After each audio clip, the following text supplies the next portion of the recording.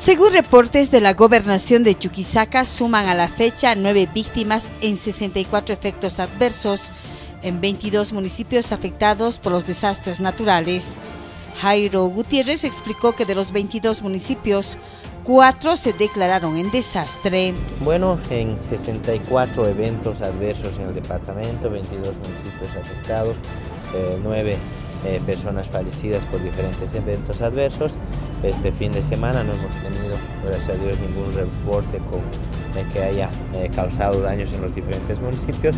El último reporte que se tenía era justamente de Poroma, con afectación a más de 300 familias. El gobierno departamental ya ha hecho la atención respectiva a los afectados por esta fuerte granizada en el municipio de Poroma y también estamos trabajando para poder atender a los diferentes eh, eh, gobiernos municipales que han presentado sus declaratorios de desastre. Con declaratoria de desastre son cuatro municipios, con afectaciones por eventos adversos son 22, 64 eventos adversos, más de 8.700 eh, familias afectadas en 4.600 hectáreas eh, afectadas por los diferentes eh, eventos adversos en el departamento.